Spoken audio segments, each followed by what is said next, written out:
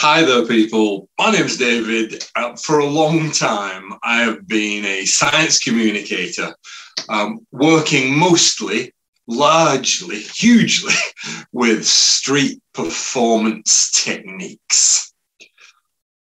People, we've got a problem. It's quite a well known and quite a defined problem, but it's still a problem. Um, there are large chunks of the youth of this planet who are pretty much disenfranchised from science, as don't see it as part of their lives, as don't see themselves as being part of our amazing scientific future. Um, to, to put it another way, the people who attend um, science events and science um, organizations and institutions, and well done for doing that. But they're already in love with science. What are we going to do with the rest of the population? Leave them to their own devices? Don't they deserve to have the chance of a stake in our scientific future as well? This little session is about one of the potential solutions to that. Welcome to the world of science busking. Yeah, yeah, yeah, I know, I know. Science busking. What's that you ask, great, David, what is it? Okay, fair enough. Good question. Science busking is the use of street performance techniques, not so much to juggle, not so much to do magic, although, of course, there's a whole bunch of science in both of them, but to gather hold and inspire diverse audiences with the, with the fabric of our scientific lives, increasing the science capital of the people around us so they can feel part of this scientific future we're so bravely walking into. And I suppose that begs another question, doesn't it? You're all saying, Oh, that sounds great, David, but what is it? Can you give us an, example of science busking? Here's a little one we often use as an, as an introduction. So, what we're going to do I need your help in this. It requires the use of both of your index fingers. Now, you can do this standing up or sitting down. It's absolutely fine. It works both ways with one index finger, whichever one you want, Stick it out in front of you, arm's length in front of you. With your other one, arm's length behind you. See, you can see line there. And with your eyes open, what we're going to do on the count of one, two, three, and you can do this with me if you like. We've got three opportunities to bring that back index finger forwards and touch the tip of our front index finger. One, two, three, go. One, two, three, go. And one. And two. And three.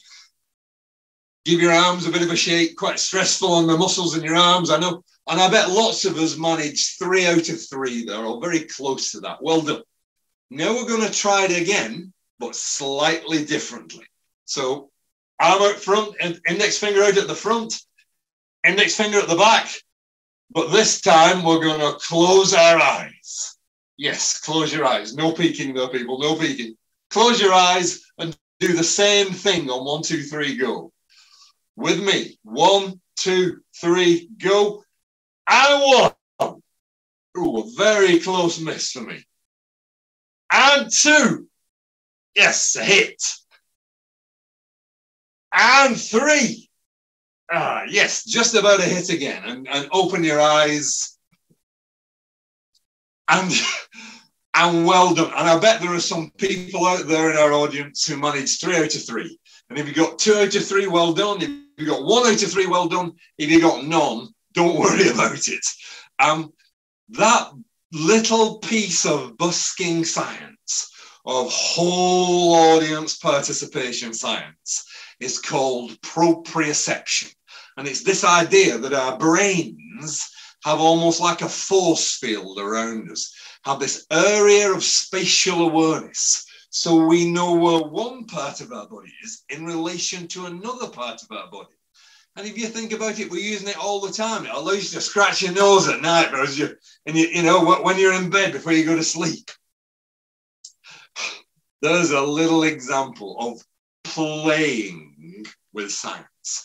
What science busking is, it's a hard thing to define, but think of it as a set of really accessible, really transferable, really joyous and achievable communication skills that can rock up anywhere and talk to anyone on this planet and get them questioning and presenting and, and celebrating our scientific world. Um, and that's such a beautiful and such a powerful thing. Um, part of my street performance education took place at the World Street Performance Championships in Dublin. If you ever get a chance to go there, go. It'll change your life. It changed mine. Uh, and there you can go and you can rock up and you can see people who start off, these incredible performers who start off with a set with no audience. And about eight minutes later, they've got 1,500 to 2,000 people lapping up every word they say. And it's not just occurred to me, it's occurred to many science communicators over quite a period of time. Is we ignore those transferable skills to do that at our peril. Busking, it, it, it's all about play. And th- th- there can't be any of us here who can say, really say, okay, well, I have never played with something at some point in my life.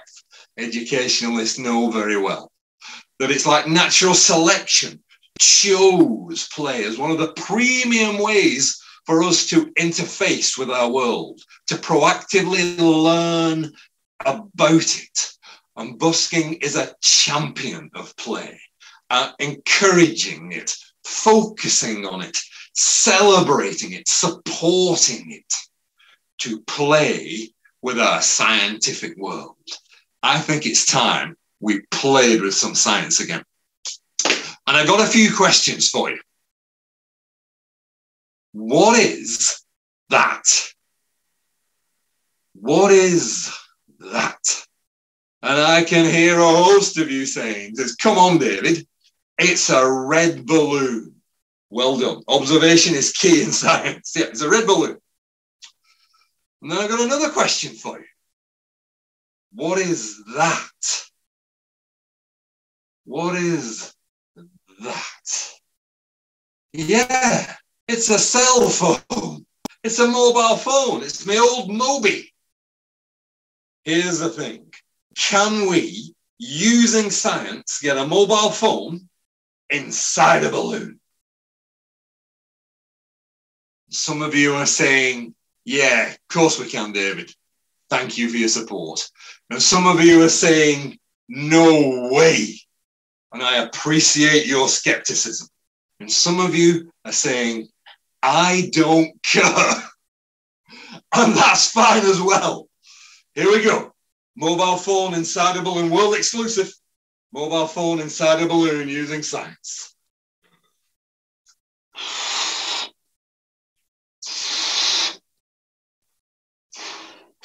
World exclusive, people.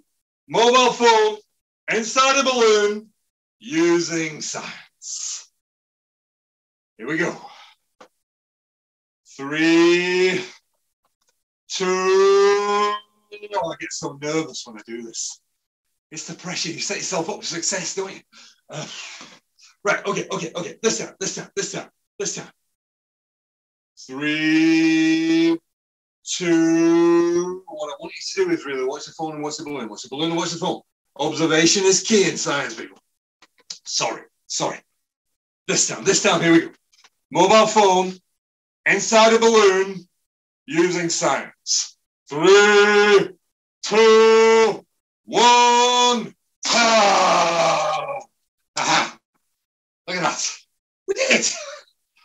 Mobile phone inside a balloon using science. Um, some of you, I heard, I distinctly heard some of you say, David, we want you to turn it around.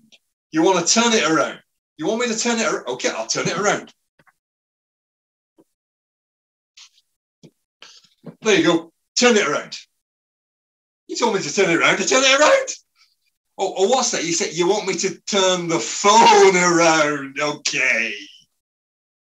There you go. Turn the phone around. You told me to turn the phone around. To turn the phone around. Wait, wait, are you saying science? You only get good answers if you ask good questions. Um, oh, right. You want to see the back. There you go. There's the back. What's that? You want me to move my hand? There you go, people that move my hand. Or not this hand, this hand. Mobile phone inside a balloon using science. So, what's a science?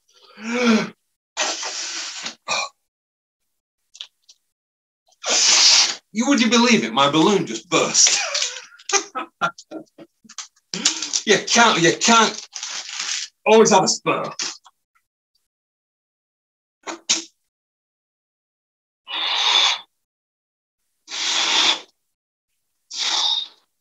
Here we go. So balloons made out of rubber. So we're investigating some material science, the material properties of an elastic substance like rubber. We applied a force with my phone through my arm, through my muscles, through my phone. Here we go. What you do, you push very hard and you let the air come out of here very fast. Three, two, one.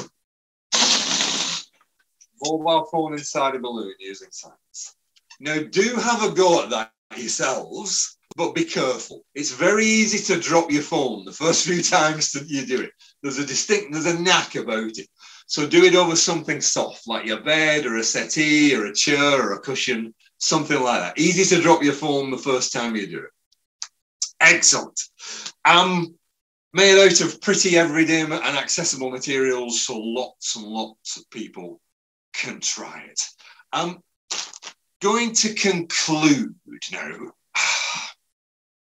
Science busking is this collection of really transferable, really accessible, really effective, really joyous communication skills that can talk to people from being four years old to 104 years old about our scientific world and their part in it and how it's already touching us all already. And all we have to do is reach out and touch it back.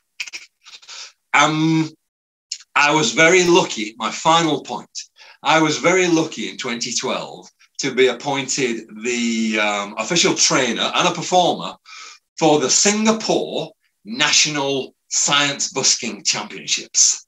And in those championships, I got to meet the eventual winners, two 11 year old children called the Sci Fi Girls and they were incredible. I mean, they blew me away. They were so good. They really, really deserved to win. And I, well, you know, it's a few years ago, and I'm really thinking about them and imagining them carrying on their scientific studies through school and through university. So they find themselves maybe now as early career scientists or early career engineers using their busking skills to sell their love of their science and its content to the world. People, you give it a chance, science busking can really do a job for us. Thank you very much.